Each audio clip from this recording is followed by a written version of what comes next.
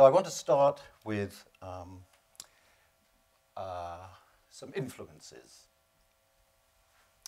As far as scientific explanations are concerned, that is, not influences for any data visualization, my sort of data visualization, or, um, or maps, for instance. And a key uh, influence on me was Fritz Kahn, who I'm sure you all know, who did wonderful things in the 1930s, mostly accurate. Uh, he drew pictures because he was talking to regular people, not to members of academia, and that's something that I have spent my whole life doing. He did very, some very simple things, and some fairly complicated. This is a, the mouth of a three-year-old. Uh, wonderful thing to see now, uh, let alone in 1930 or thereabouts when he did this. Second influence, which has uh, carried me through for a, a, a, lot of my work, is a particular kind of British humour, which I first learnt about from Edward Lear and his wonderful nonsense lyrics and uh, limericks and, and uh, other poems. And uh, show in England, anybody heard of the Goon Show? Um, they were so ridiculously funny that when I actually had my appendix out, I had to tell the hospital, which was the Royal Infirmary in Hull in Yorkshire, uh, to take off my um, earphones because uh, it hurt so much uh, laughing at these, these three people. If you can recognize the guy on the, on the far side there, that's Peter Sellers, who went on to a different kind of fame.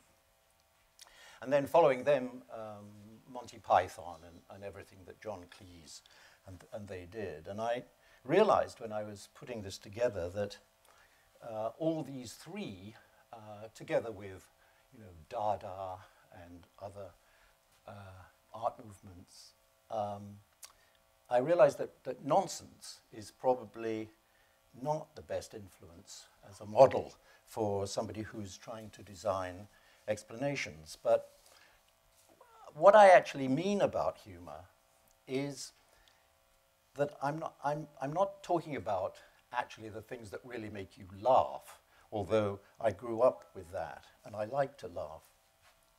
It's more like good humor, uh, about being friendly, about being human. So I've always tried to include a human figure in the things that I've done, assuming that there are figures to be put in there. And so I started uh, work in, in England, uh, a lot of work for the, for the BBC. This was a book uh, called The Ascent of Man by Jacob Bronowski. And it's a kind of a mild self-portrait. Uh, I can't think for the life of me now why I used this particularly um, uh, exotic uh, typeface, but um, oh, and this doesn't work. Okay, um, but uh, he, here, this this this type. It would have been better if it had been plainer, but uh, I was younger then. When I came to um, America, I continued to try to humanize things and got into quite a lot of trouble with some people in academia who didn't like the sort of stuff that I was doing. And in particular, the man who I was working with on this, whose life's work it was to explain interferon, um, was horrified when uh, we told him that we were going, that this is what we were going to do. I told him. And he said, um, can you do something else? Can you do something that's kind of plainer? And, uh, and I said, well, no, I'm sorry. I'm just calling you out of courtesy. We're actually going to do this. And, uh, um, and so he, he kind of slammed the phone down. And, um, and then I got a letter from him, very nice letter, about a week later when he said, a whole lot of my colleagues have just said, well, now I see what you're doing. And that was an, uh, you know, a, nice, a nice feeling for me. Uh, but anyway, Uh, so this is a, a drafty house for the New York Times, 1978, I think, from when there was a home section in the New York Times. And this is mu much more recent. This is from a book of mine um, about travel in case you have to do an emergency tracheotomy. Um, and it's, a, it's pretty horrific. I've, I've done a quite a few medical things, and in some cases I have to kind of stop working and go and throw up. Um, but all of these things that I'm showing you are for the general reader, as, as I said before. So I'm trying to kind of make it pictorial in a way that's both accurate but also uh, friendly. So let's look at three uh, explanatory diagrams in, in, in, a little bit more detail. So this one is about stress. So this, this is the piece that, that, uh, that ran, but we're going to go through it uh, in, in, in some detail. Um, and, and this was 1983. Uh, uh, and uh, it's 1983, so I wouldn't necessarily do it like this now. Uh, but I thought you might like to see what happens. I start quite often with some sort of drawing that make to think about some way to frame the whole thing. And I wanted this all to be in the person's head and body. Uh, so, you know, is he actually stressed or is he thinking? I'm, I'm not sure that I was really thinking clearly there, and I don't want to put thoughts into Rodin's mind. But anyway, uh, pretty soon I'll actually attempt a complete sketch with, and this is very important, with my attempt at what the text is going to be, because I've always thought that this sort of explanatory diagram is a marriage of words and pictures. And increasingly, as I've been continued to work, I found that the words actually come first, much so I wouldn't have drawn uh, the Rodin figure, I would have uh, started with the text completely by itself. Uh, and so the text here is written out in, in my hand, what I think it should say, as, as I understand it from the reading that I've done prior to, to doing this. Uh, and if I can't say something in words, then uh, personally, I find that I'm probably not understanding it. Uh, I'm, not, I'm not understanding the thing that I'm, I'm, I'm trying to show. Uh, the next stage is to show a version of this to the science editor. So, and then the top editor of Time magazine. And so I'll do a sketch which shows enough of what the idea is, and I'll talk through uh, what the text is going to say. So I just put down some dummy text there, which is actually the typeface that's going to be used eventually, uh, so that I can begin to see how, how, how, much, how many words there are.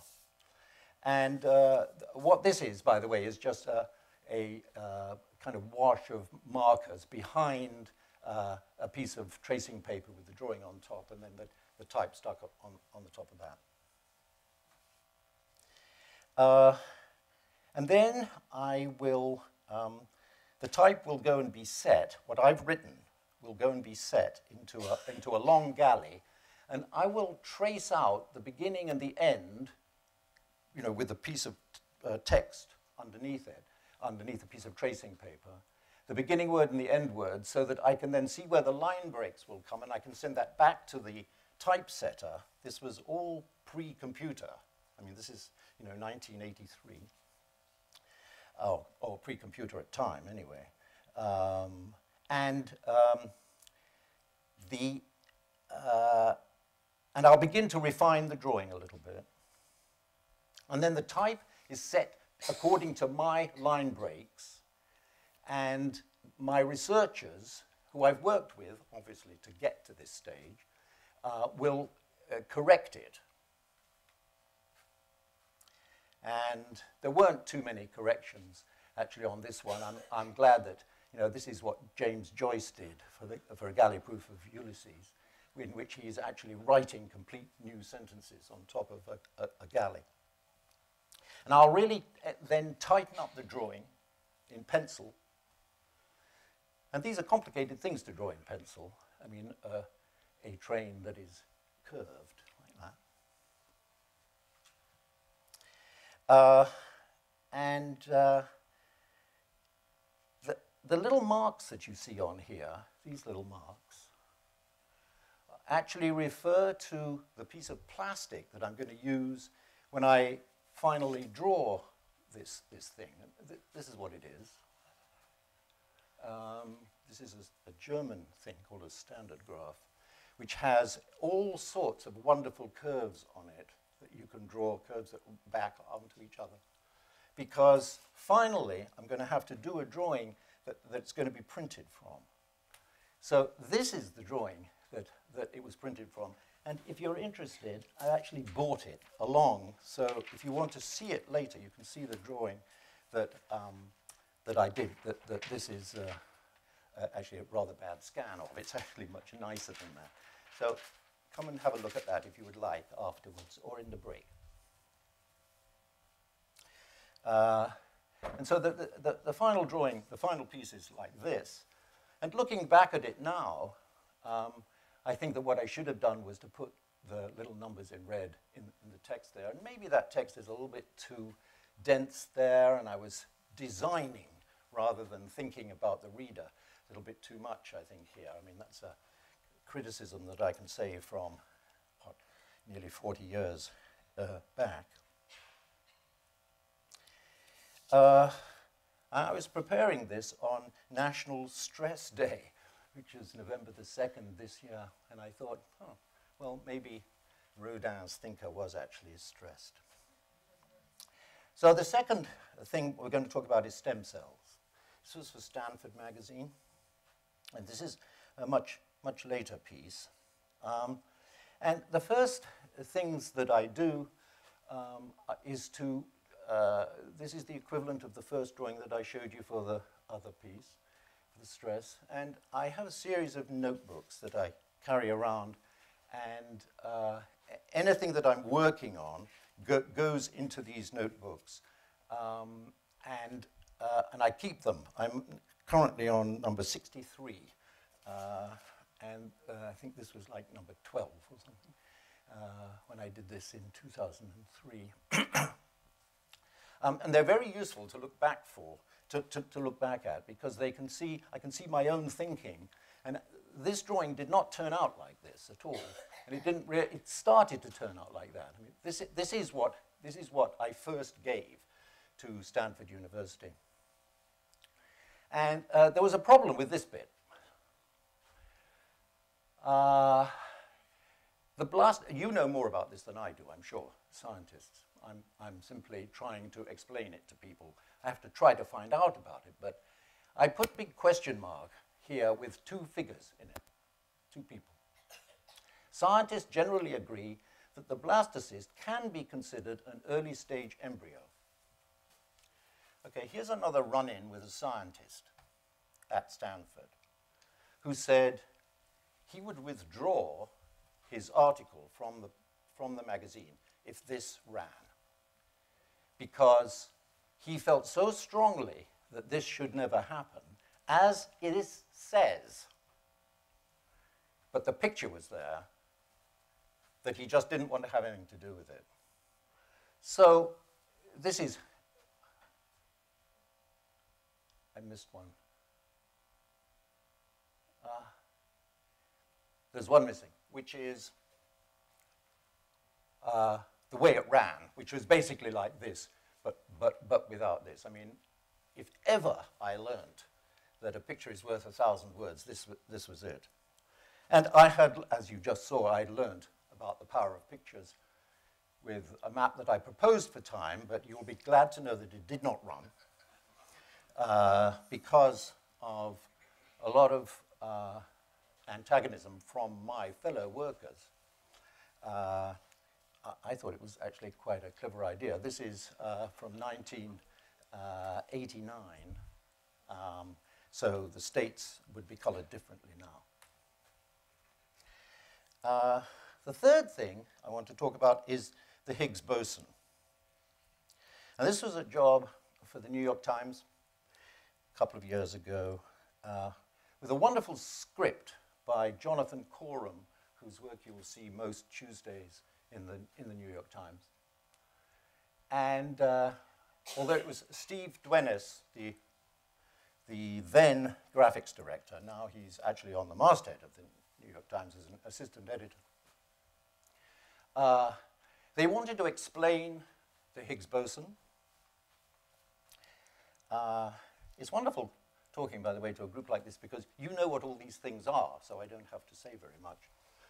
Um, but uh, what Steve wanted, as the art director, as it were, was uh, a kind of a light drawing that was not crisp and tight and sciency, because they weren't sure what they were talking about all the time.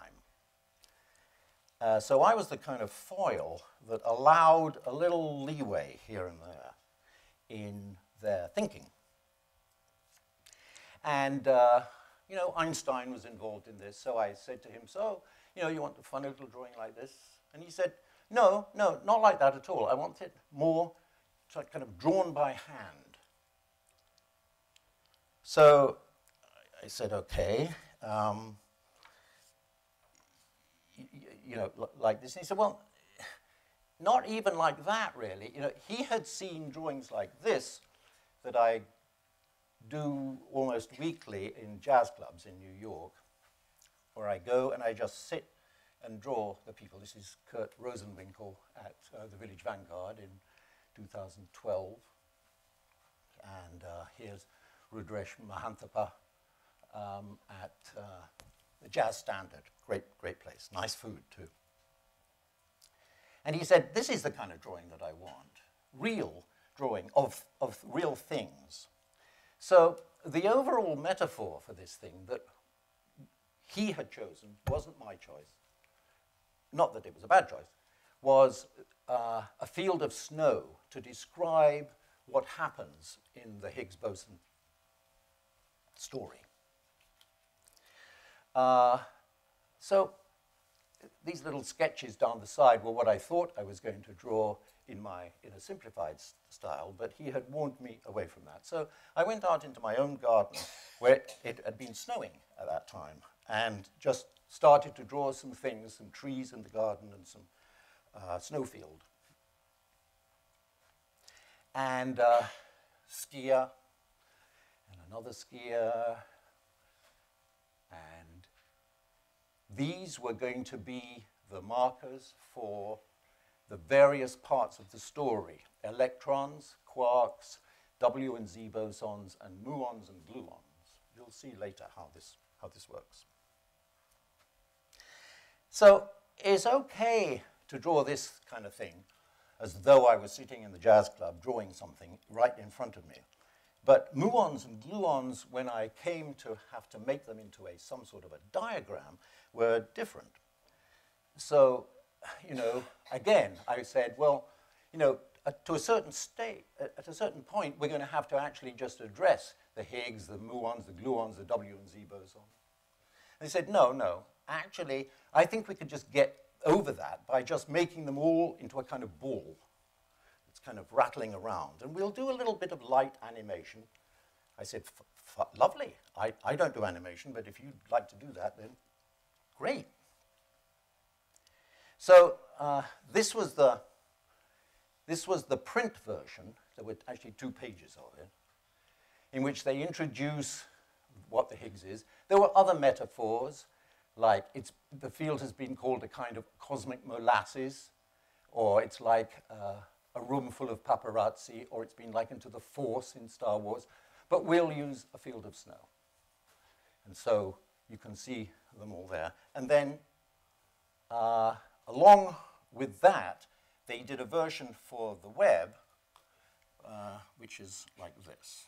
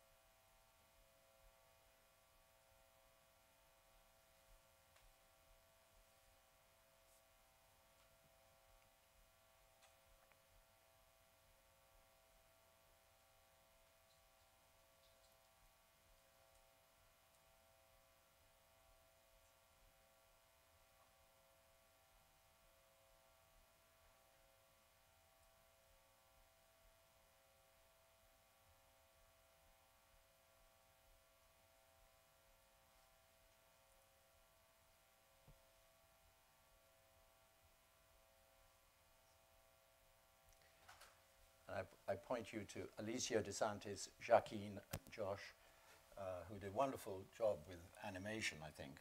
Um, and uh, this, this won an award, and I was most insistent that Jonathan and those other people that I mentioned should really get the award because I was just their wrist, in a sense.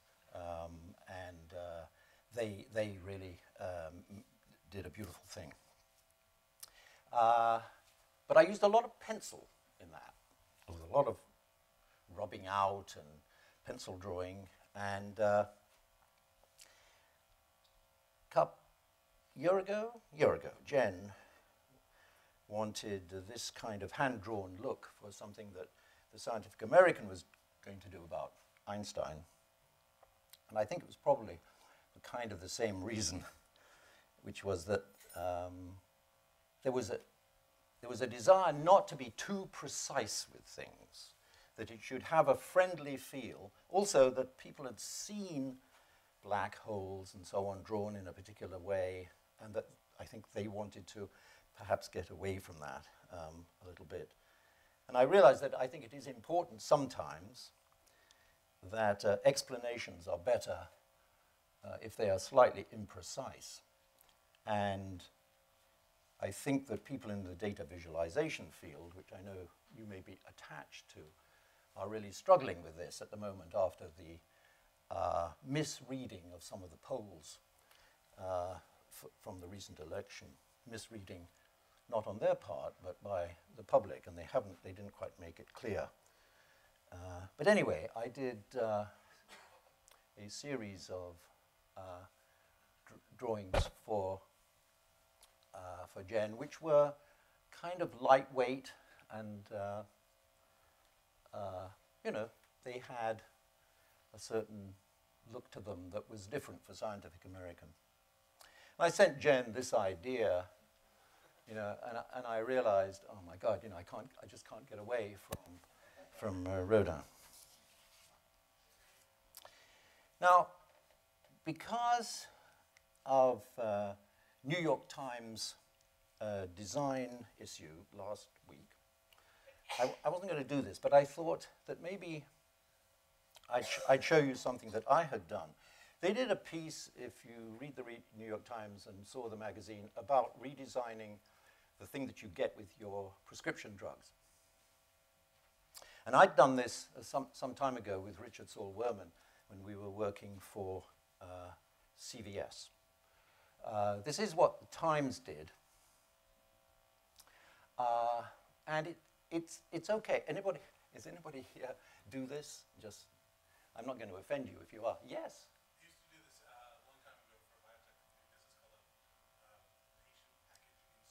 Right.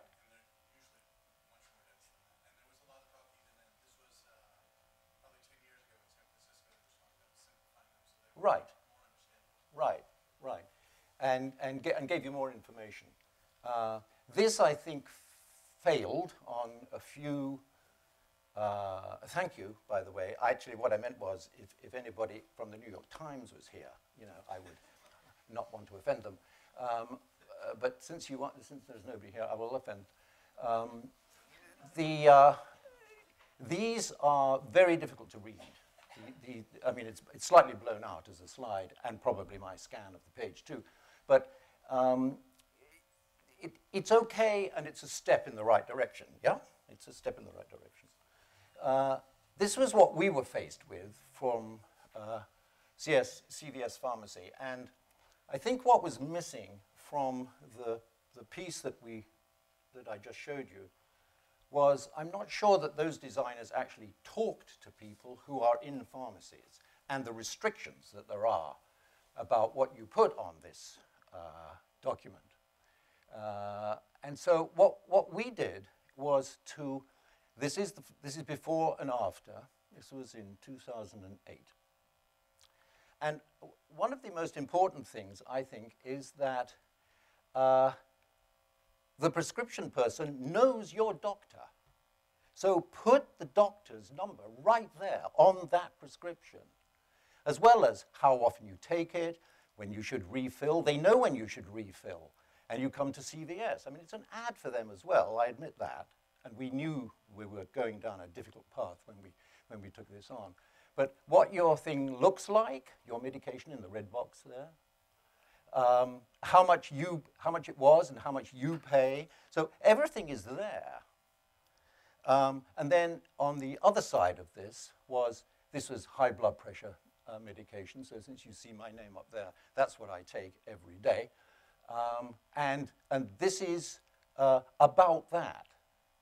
Now, we realized, as probably uh, the uh, designers of the New York Times thing, is that these are thrown away. As soon as you get it, you throw it away because it's the bottle that matters.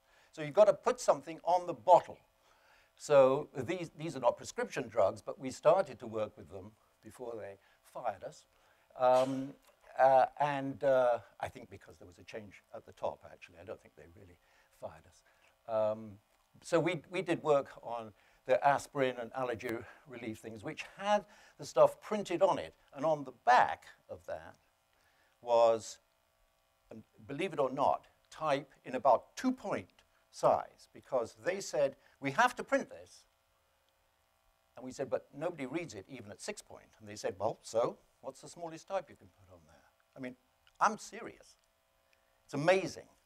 You have to put it on, and when we left, they were just buying a chain of uh, pharmacy stores in Florida, and so it would also have to be in Spanish.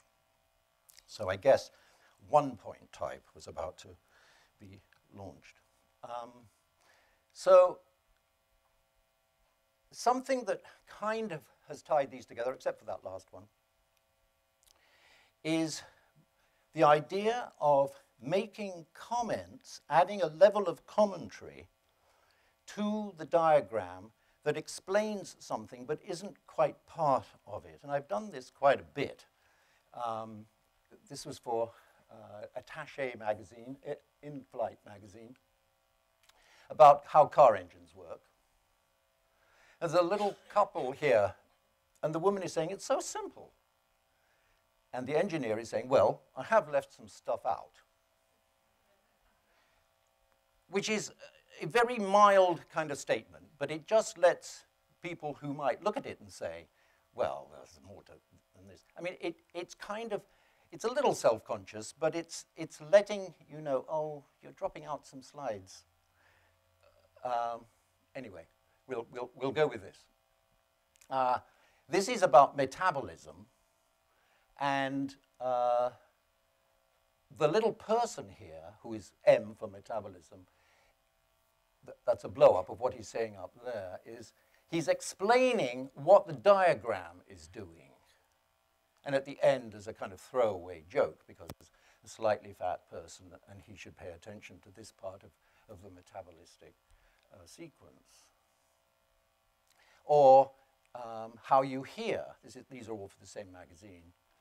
Uh, so it's a, you know, relatively straightforward diagram of the, of the ear, ears and the bones in the ear. But these little guys here are saying, are talking about the waveform, which is, I think, an interesting thing. You know, it's waves that go up and down like that are, are a high note. I mean, I, even at this level, I'm simplifying it, of course. But, and then the one at the guy, guy in the front says, okay, let's go in. So it's a way of making things friendly. This is for an airline magazine where people are sitting in their, in their chair, annoyed because the chair's too small. They've got this thing here. They just want the plane to take off. And uh, so there's very little attention span here. And it was a, was a series called How It Works. And uh, I worked with um, a great writer. And he, uh, he would send it to me in advance, and we, I would do things that would stand alone from, from, the, from the text. They complemented it rather than from his text. Um, and uh, so, uh, but annotations like this, or the, the Greek chorus, can actually just be things down the side. This is what I showed you earlier, the thing for Stanford magazine. It isn't the way it finally appeared. What I originally had here was little descriptions of what this is Because unlike you, scientists and science designers and illustrators and visual artists, the people who read this magazine don't know these terms. What's a clone? Why not use adult stem cells? Why not use adult stem cells? And it answers it for you there, that little bit of the.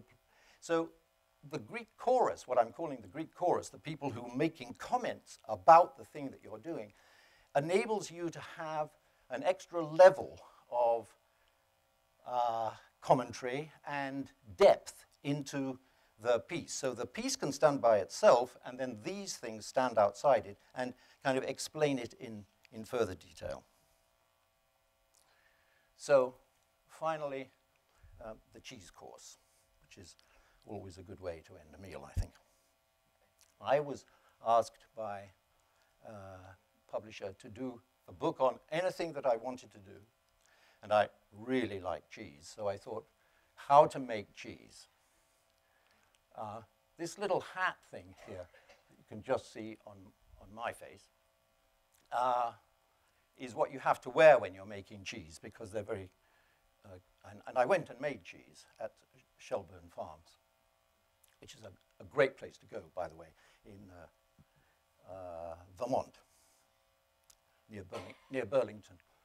Uh, anyway, this little company asked me to do, to, to do a book about it. So the book goes through the pasture, the cows, the milk, the cheese, a slight detour about how you get holes in Swiss cheese, and uh, a little love story at the end.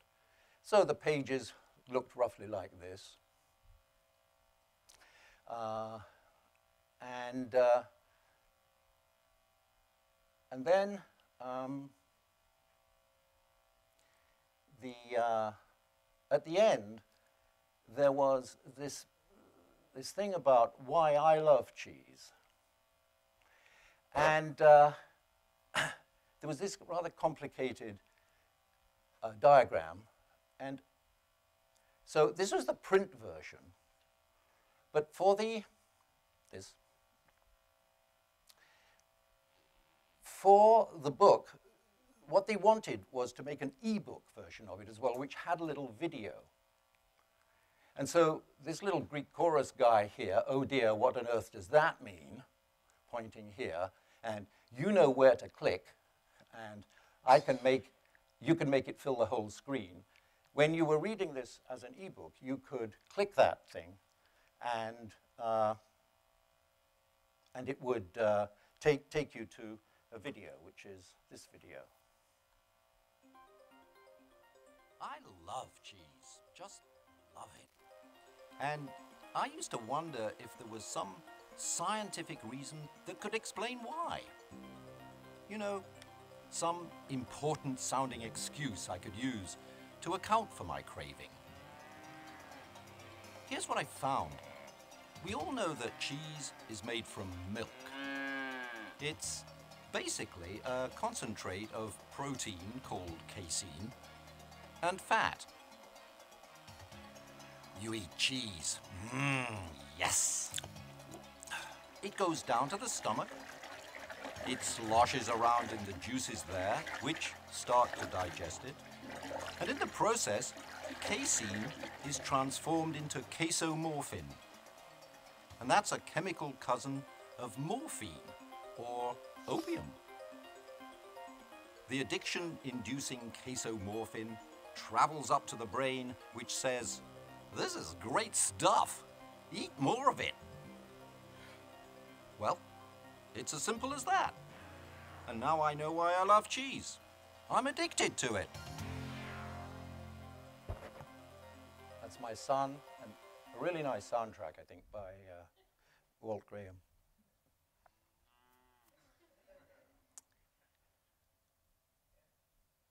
So, in the immortal words of Sydney Greenstreet uh, to Humphrey Bogart in The Maltese Falcon, here's to plain speaking and clear understanding.